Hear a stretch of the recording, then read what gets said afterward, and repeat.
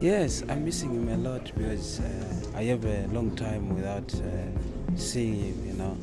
I don't even know what size of a shoe does he wear, you know. I don't even know what is he going to eat today.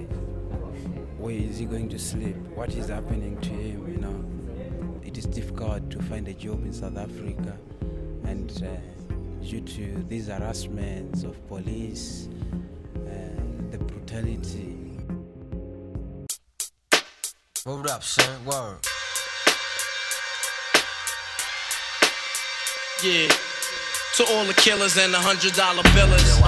If I'm teaching you to be brutal, I must choose between brutality, if that is brutality, and burying you.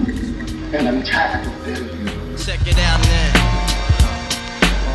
I got you